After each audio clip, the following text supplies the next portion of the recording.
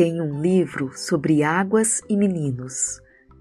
Gostei mais de um menino que carregava água na peneira. A mãe disse que carregar água na peneira era o mesmo que roubar um vento e sair correndo com ele para mostrar aos irmãos. A mãe disse que era o mesmo que catar espinhos na água, o mesmo que criar peixes no bolso. O menino era ligado em despropósitos. Quis montar os alicerces de uma casa sobre orvalhos. A mãe reparou que o menino gostava mais do vazio do que do cheio. Falava que vazios são maiores e até infinitos. Com o tempo, aquele menino que era cismado e esquisito, porque gostava de carregar água na peneira, com o tempo descobriu que escrever seria o mesmo que carregar água na peneira. No escrever, o menino viu que era capaz de ser noviça, monge ou mendigo ao mesmo tempo. O menino aprendeu a usar as palavras. Viu que podia fazer peraltagens com as palavras e começou a fazer peraltagens. Foi capaz de modificar a tarde botando uma chuva nela. O menino fazia prodígios até fez uma pedra da flor. A mãe reparava o menino com ternura. A mãe falou: Meu filho, você vai ser poeta. Você vai carregar água na peneira a vida toda. Você vai encher os vazios com as suas peraltagens. E algumas pessoas vão te amar por seus despropósitos.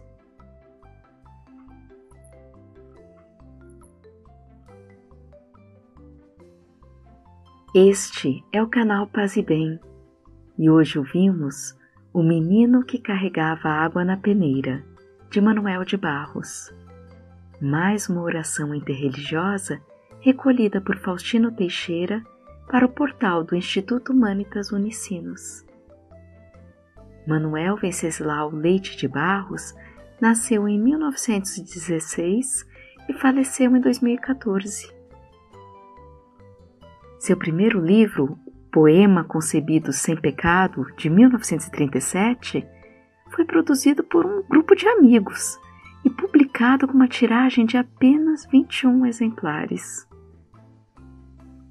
Manuel é aclamado nacional e internacionalmente pela originalidade do seu trabalho. Foi agraciado com mais de 10 prêmios, inclusive dois jabutis. É um autor de vasta obra, mais de 30 livros publicados. Entre eles, o Compêndio para Uso dos Pássaros, Tratado Geral para as Grandezas do Ínfimo, Gramática Expositiva do Chão, Arranjos para Subiu e o mais famoso, que é Livro sobre Nada. Vamos ouvir novamente? O menino que carregava a água na peneira, de Manuel de Barros.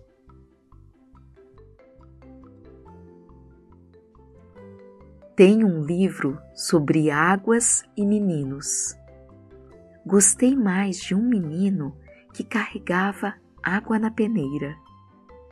A mãe disse que carregar água na peneira era o mesmo que roubar um vento e sair correndo com ele para mostrar aos irmãos. A mãe disse que era o mesmo que catar espinhos na água, o mesmo que criar peixes no bolso. O menino era ligado em despropósitos. Quis montar os alicerces de uma casa sobre orvalhos. A mãe reparou que o menino gostava mais do vazio do que do cheio. Falava que vazios são maiores e até infinitos. Com o tempo, aquele menino que era cismado e esquisito porque gostava de carregar água na peneira, Com o tempo, descobriu que escrever seria o mesmo que carregar água na peneira. No escrever, o menino viu que era capaz de ser noviça, monge ou mendigo ao mesmo tempo. O menino aprendeu a usar as palavras. Viu que podia fazer peraltagens com as palavras e começou a fazer peraltagens. Foi capaz de modificar a tarde botando uma chuva nela. O menino fazia prodígios. Até fez uma pedra da flor. A mãe reparava o menino com ternura. A mãe falou: Meu filho, você vai ser poeta. Você vai carregar água na peneira a vida toda.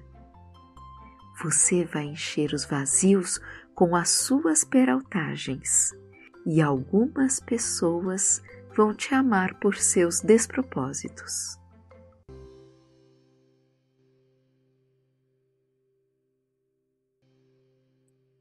Passamos agora para o nosso momento de meditação. Iniciamos ao primeiro toque do sino e encerramos ao segundo toque. Respiremos profunda e lentamente.